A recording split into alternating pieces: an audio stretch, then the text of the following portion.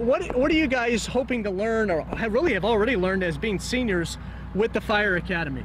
Uh, we've learned a lot of stuff, including including uh, hose loads, forcible entry, uh, car extrication, Yeah. and so I mean it's really nice getting to be able to put our hands on the tools that they provided Yeah. us, and it's just a lot of fun. And you guys, are you ready to right out of high school be able to be qualified, right? Actually, we'll be ready by the end of December because we are actually taking our um, the test to get certified. Yeah. So by the end of December, we will be certified firefighters, and then the next upcoming semester will be training for being EMTs. Well, congratulations. It's a great program here at Lake Dallas High School. Now, I'm going to try some of the drills that these guys are very proficient in. We're going to start, I'm going to hand my mic off. We're going to start with just opening up the hydrant, which you would think would be the simplest thing to do. We'll see here. This is going to send the water through. Here we go. Do I turn it all the way around as far as it goes? All right. Ugh, I can't even do this part. This is going to be a challenge for the rest of it. Is water even coming out? Is my question. Keep going. All right. All right. Ah, big cardio. All right. Here comes the water. The water's filling up. In a real life fire, I hope it would not take this long. All right. Here we go. Here we go. All right, the hoses are filled. Next station. All right. Next station. I'm. All right. I'm going to drag the hose. Pick up the hose. There's a fire. Go. All right. Let's go. All right. Pull. Pull. Pull. I'm going. I'm going. Pull. All right. Pull. All right. Now. Stop.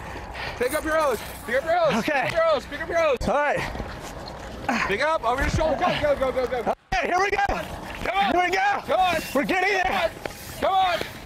All right. Dump it. All right. All right. Pick Gotta up here. dummy. Grab it by here.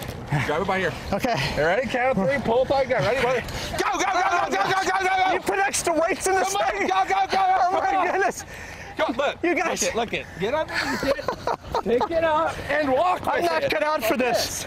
You're getting well. You're doing well. There you go. Keep going. Keep going. Now over here. We're not done. Go. All right. What am I doing here? Show me. Kaiser, he's gonna hit first. Okay. All you gotta do is hit it. It ain't rocket surgery, right? It's not rocket surgery. All right. Go. No, Here we go. it. Go, go, go, go, go. One, two, three, and a half. Go. Go. You're done. I'm done. Please, people. Thank you for the uh, polite applause at the end. I don't think I'm ready to graduate the fire academy just yet. Hey, But if anything that this morning has shown me is that I'm greatly out of shape.